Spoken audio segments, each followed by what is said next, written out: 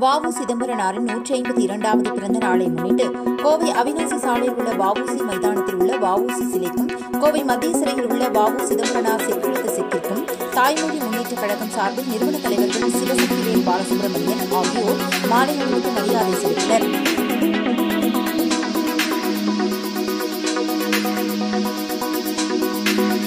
தொடர்ந்து பொதுமக்களுக்கு இனிப்புகள் வழங்கினர்.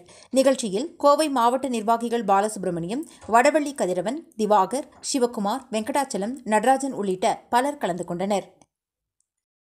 வணக்கம். நான் சிவசக்திவேல் பாலசுப்ரமணியன் தாய்மொழி முன்னேற்ற கழகத்தின் தலைவர் மற்றும் நிறுவனர்.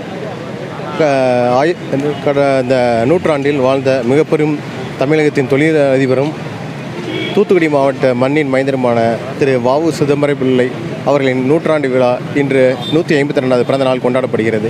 இந்த விழாவில் அனைத்து மக்களும் சேர்ந்து இதை ஒரு சாதிய தலைவராக பார்க்காமல் ஒரு தேசத்தின் தலைவராக இவரை நினைத்து போற்றி அவருடைய வாழ்க்கையை ஒரு பாடமாக எடுத்து நாம் அனைவரும் இந்த இந்திய நாடு மேன்மையடைய அதற்கான தொழிலையும் மேம்பாட்டு திட்டங்களையும் நாம் கருத்தில் கொண்டு வளர வேண்டும் என்பதை நாம் பெருமையுடன் எண்ணி பெருமைப்பட வேண்டும்.